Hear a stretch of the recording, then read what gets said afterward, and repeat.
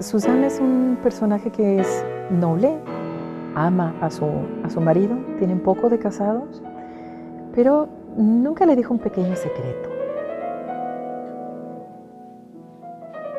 Los primeros pensamientos que le vienen es que su esposa tiene un, un amante, su esposa con la que está recién casado. Tienen un mes de casados y él dice, a un mes de casados y ya me va a engañar.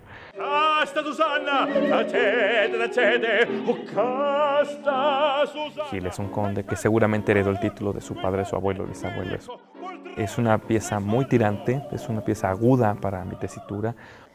Pero es bastante contrastante con la música, de ahí es la, la dificultad. Estamos en una época también donde ya la gente no solo va a escuchar la ópera, sino también la quiere ver.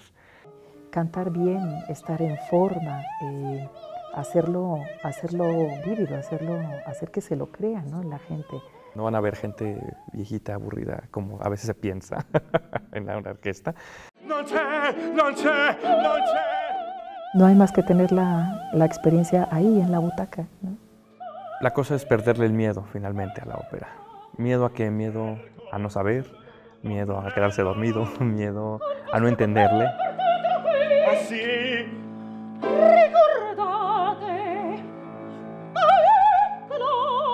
Ahora tenemos afortunadamente supertitulaje mientras vamos cantando y van a ir siguiendo la trama palabra por palabra, entonces no se van a perder ni un detalle de lo que está sucediendo, tal y como pasa en el cine.